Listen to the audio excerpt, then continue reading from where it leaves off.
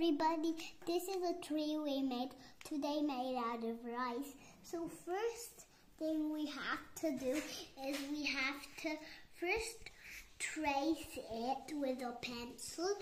and then we have to cut it into a circle but we didn't want to cut it into a, a circle and then we have to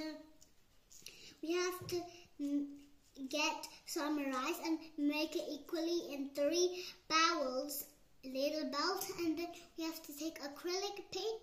put it in, and then we have to mix it up with some sticks.